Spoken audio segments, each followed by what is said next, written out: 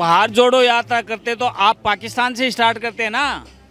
कि पाकिस्तान हमारा हिस्सा अलग हुआ, उसको वापस जोड़ के भारत में मिलाऊँगा। आप बांग्लादेश से स्टार्ट करते हैं ना, कि बंगाल को मैं वापस मेरी सेनाओं के माध्यम से या कूटनीतिक या राजनीतिक दृष्टि से वापस उसको लेके आऊँगा। भारत जब टूटता, अरे इस देश में क्या टूटा हुआ है? अब आप मणिपुर को भी उस हिसाब से भेजना चाहते हैं। और वो सीटें आप ये सोच रहे हो यूपी में आपकी सात आठ सीट आ गई वो आपकी मेहरबानी नहीं है अखिलेश यादव की वजह से आ गई। वरना पिछली बार दोनों माँ बेटे में से एक जीता था। नाम मनमोहन सिंह जीता मैं कह रहा हूँ मनमोहन सिंह जैसे आदमी को आगे लेके इसने देश का बेड़ा गर्क कर दिया। आप डाटा उठाइए उस वक्त कितनी फंडिंग की गई है किन किन क्षेत्रों में फंडिंग की गई है?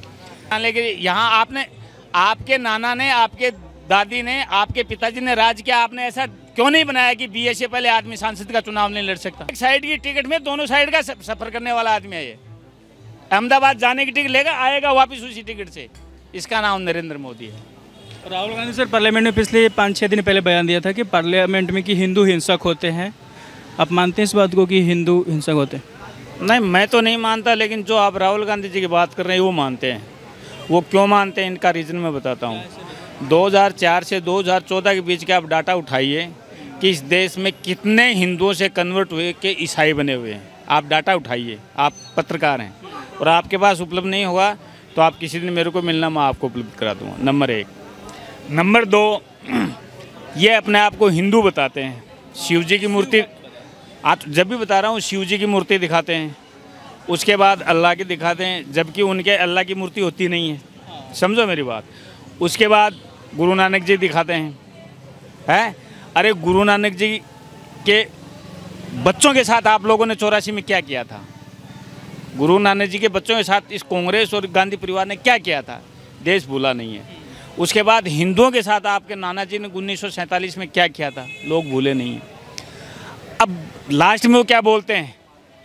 मतलब ईसाइयों का जो गुरु होता है, पोप, ईसा मसीह की फ़ोटो दिखा के क्या बोलते हैं? कि अब वो अंग्रेज़ी मेरे सर के ऊपर से निकलती है लेकिन मैंने उसका अर्थ यह निकाला कि सबसे सुप्रीम पावर ये है।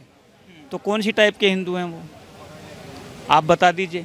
अब चूँकि ये भाषा संसद में बोली गई है ये प्रोग्राम संसद में किया है इसलिए लोगों ने एफआईआर लॉज नहीं हो सकती संसद में कार्रवाई।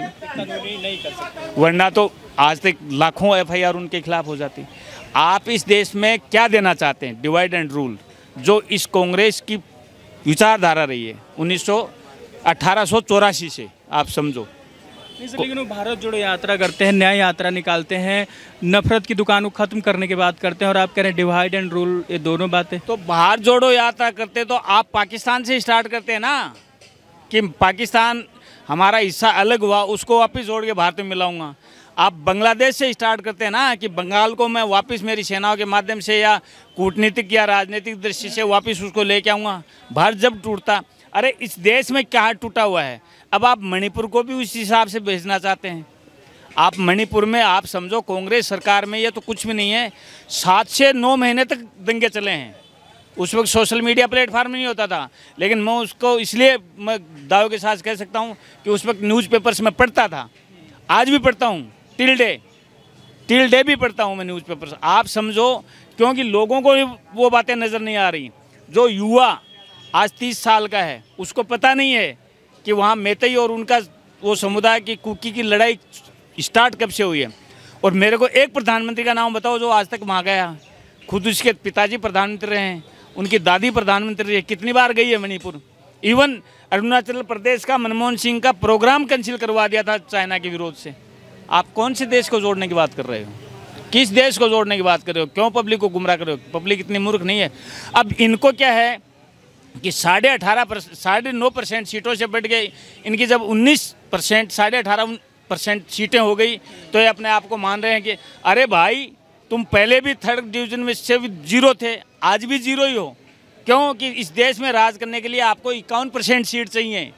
और वहाँ पहुँचने के लिए अभी बत्तीस परसेंट आप दूर बैठे हो।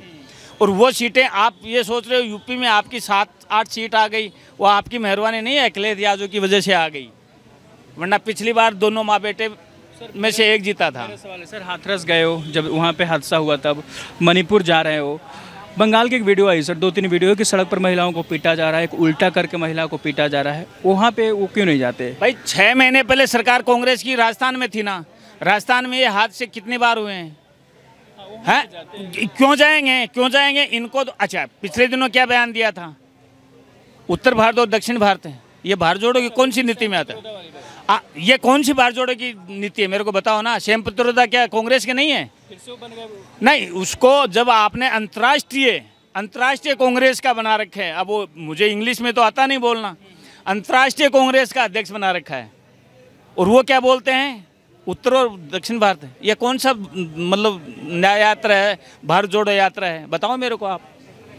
तो मैं तो ये कहता हूँ, ऐसे महा आदमी को, महामानव को, मैं तो उसको महामानव ही कहूँगा, क्योंकि बाकी आगे का शब्द मैं काम में नहीं लेना चाहता।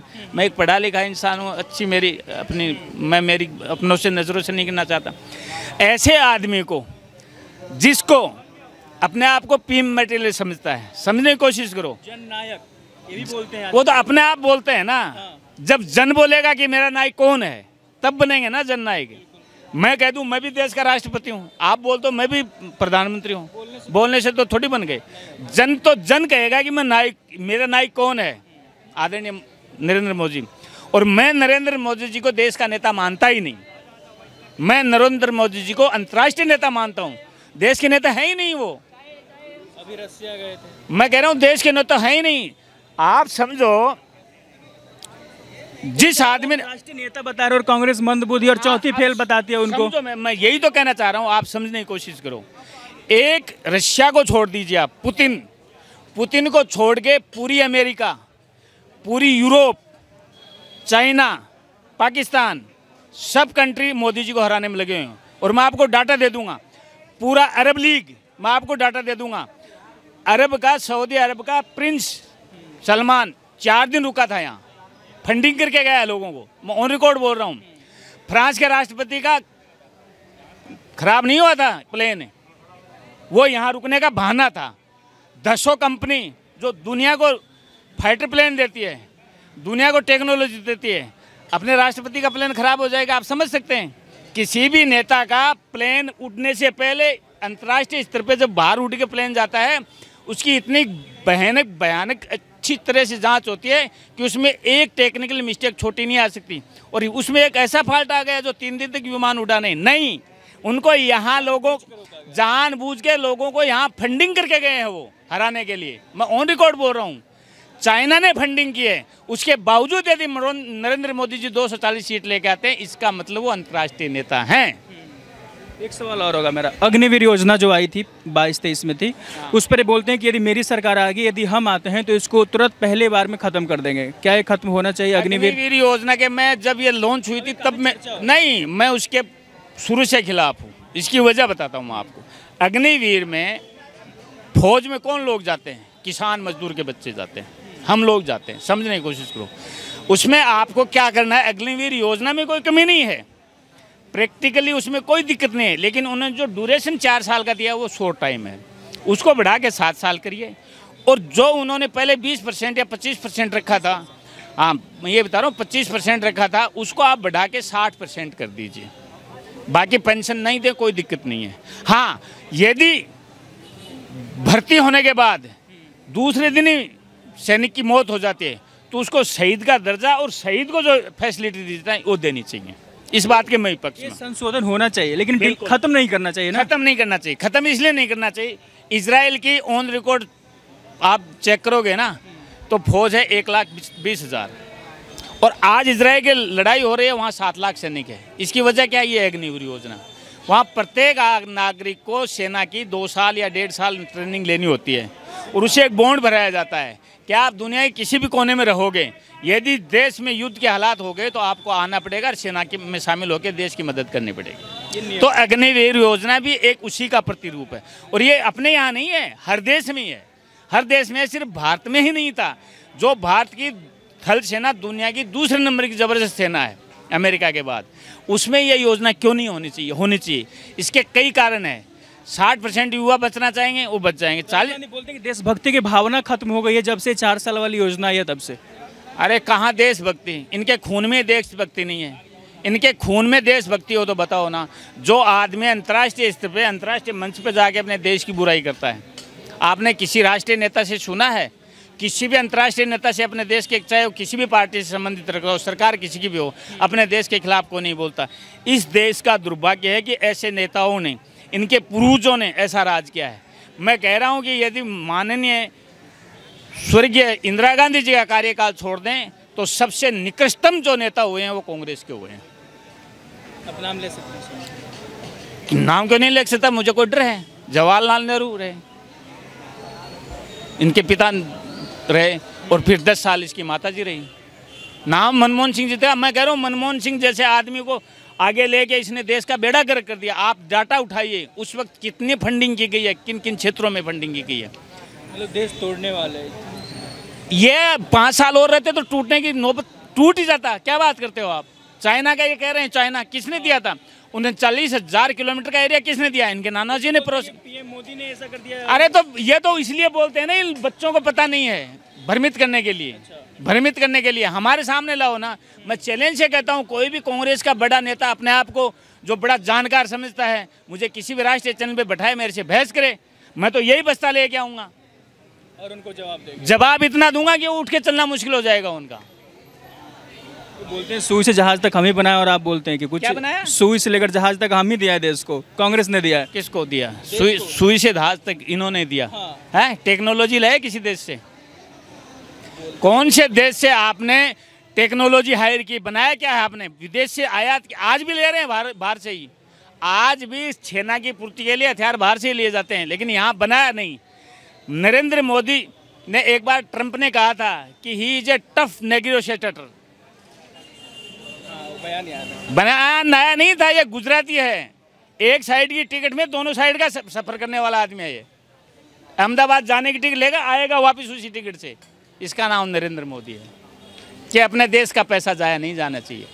अपना पैसा है क्या उसका? अपना पहनना और खाने के अलावा क्या खर्चा है?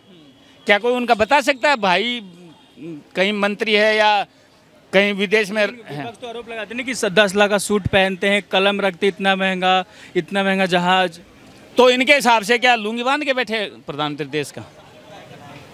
इनके हिसाब से तो लुंगी पहन के बैठे प्रधानमंत्री। क्योंकि इनको तो लुंगी वाले पसंद है ना। इसलिए लुंगी पहन के बैठे। ये कौन सी भाषा है? ये कौन सी भाषा है? अरे आपके देश 142 करोड़ की जनता का प्रतिनिधि है वो 10 10 लाख का क्या? एक करोड़ का सूट पहने तो भी कम है। आपके देश का गौरव है वो। एक करोड़ का सूट भी उनके लिए क्या मायने रखता है? उस पर तो आपको प्रश्न उठाना नहीं चाहिए। कौन कहेगा? नंगा भूखा जाएगा, कौन कहेगा कि एक सौ बयालीस देश की पब्लिक इतनी भूखी है कि अपने प्रधानमंत्री को कपड़े नहीं दे सकती। दस लाख का सूट उनके लिए क्या मायने रखता है? मैं कह रहा हूँ, सात लाख की घड़ी नहीं, उनको सत्रह लाख की घड़ी पहननी चाहिए कि इस देश को गर्व हो कि एक सौ बयालीस देश की पब्लिक, एक सौ बयालीस करोड़ की पब्लिक को प्रोजेक्ट करने वाले आदमी का प्रधानमंत्री इतना रिच देश है कि उसका प्रधानमंत्री आज सत्रह लाख की घड़ी पहन के पहन रहा है। पाँच लाख का पेन काम में ले रहा है। यह गर्व की बात है। यह शर्म की बात नहीं है। ये शर्म की बात नहीं है। हाँ बताइए। हाँ उनका भूखे वाला सवाल पूछिए। चौथी चौथी फेल बताते हैं पीएम को। देखो राजनीति में राजनीति एक ऐसा खेल है डिग्री आपको नौकरी के लिए चाहिए होती है। समझ गए? नौकरी के लिए डिग्री चाहिए होती है। आपको कभी भी देश चलाने के लिए यहाँ आपने आपके नाना ने आपके दादी ने आपके पिताजी ने राज किया आपने ऐसा क्यों नहीं बनाया कि बी से पहले आदमी सांसद का चुनाव नहीं लड़ सकता?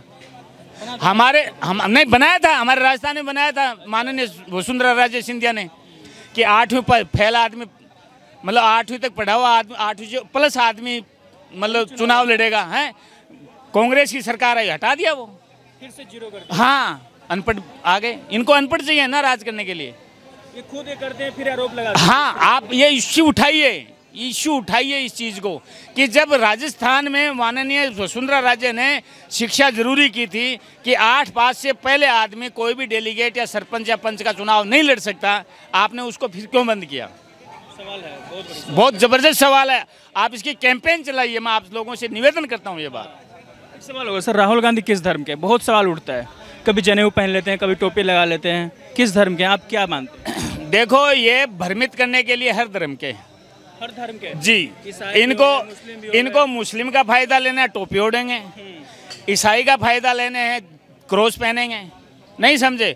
और हिंदू का फ़ायदा लेना है माला पहनेंगे और जनेऊ दिखाएँगे। जनेऊ कोट के ऊपर से पहने हाँ हाँ। बाकी राहुल गांधी जी से कहो। लेकिन जनेऊ हिंदू बताते हैं लेकिन वो प्रेस कॉन्फ्रेंस में पूछा गया था। वो बताना उनकी गलत बात नहीं है।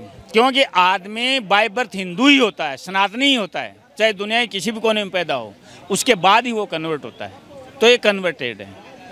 जी।